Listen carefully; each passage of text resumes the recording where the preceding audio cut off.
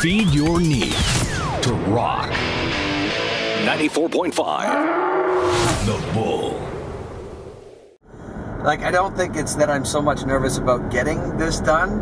It's just that whole now I know how my cats feel on the way to the vets because they know how the veterinarian is going to take their thermometer, and that's kind of the way that I'm going to get treated today. it's not what you call a real exciting procedure. But again, I think the biggest thing about this is if there's anything that we can do, you know, if one guy decides after watching this or hearing this that he's going to go and get himself tested, I think that's the most important thing, you know, because one in seven guys in their lifetime are going to get prostate cancer in Canada.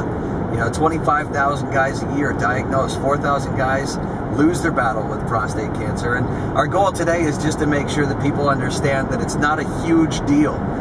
Well, it is a huge deal. When anybody's playing around back there, that's a big deal in my books. But I think the big thing is it's a few minutes of discomfort, and ultimately, hopefully, it's something that could change your life forever.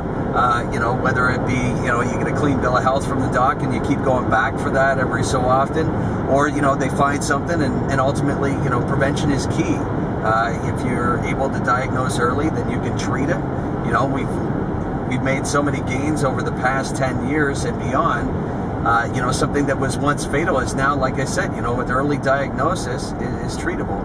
Um, in saying all that, does it make me feel any more comfortable about what is coming? Absolutely not. I have a sneaking suspicion in a short little while I'm going to be a lot more uncomfortable. But I can say that I am excited about the fact that I'm actually going to a hospital as opposed to the studio because I've seen what KFEL and Ted Easton eat in our studio and I know what kind of cleanliness that we keep. Uh, but I need some inspiration first. Before I go do this, I gotta go see my boy Big Bruce. See? No flies back there on Big Bruce. Let's go find out if there's any flies back there on me. oh man, that doesn't make me any more comfortable about this. Uh, I'm kidding, man. It's good you're doing it though. It's good for prostate awareness, eh? It's all that much more comfortable experience. Thanks. Have you never got one? No. Oh, okay. Don't worry. It's really not. It's it's easy. It's not that it bad. sounds like it's from your end. Yeah. No, don't worry. It'll be easy for you. So sounds like a dream. you're the one with the better view. So don't worry. All right. So what is this? That's uh, whoa, whoa, whoa! this is just the prep part. That is not a prep anything. That is a vacuum cleaner. That is a Dyson. Uh, no, no. Okay. My wife has one of those. Whoa, whoa, whoa! No, no. This is not it. Oh. All right. Don't worry. You're You're okay. it's a cast cutter.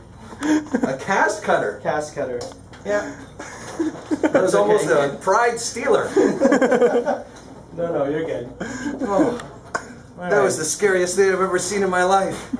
So, um, what uh, position So- would you like? Okay, so typically what we do is put someone in the so on the side. So your head would be here.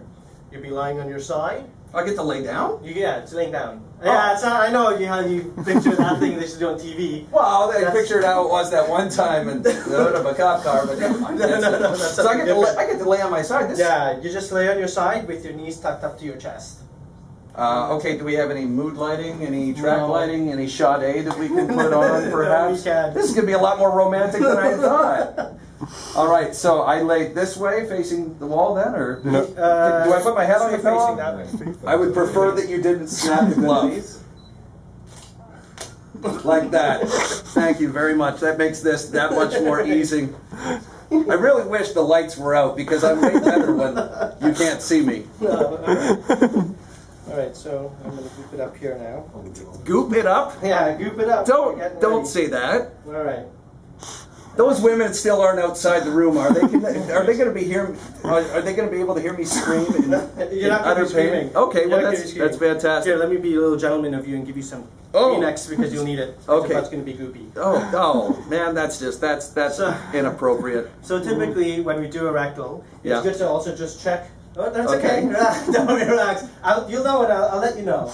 So we just typically look for any hemorrhoids, this, that, anything, you know, Perfect. any kind of lesions that we see. Excellent. Okay? So don't worry. So here, okay. So That's that's So the- cool. yeah. Oh, sorry. Okay. so the proper thing is you just leave it there because you actually have a reflex called the anal wink, Okay. and you have it, so that's good. That, uh, Okay. Fantastic. All right. I'm, I'm glad. So, so the be- the easiest way to do this. what? What? Okay. So the easiest way to do this is, I'm going to tell you. I won't tell you right now, but I'll tell you to bear down like you need to take a poop. Okay. And what that actually does is it straightens your rectum to make my finger slide in better.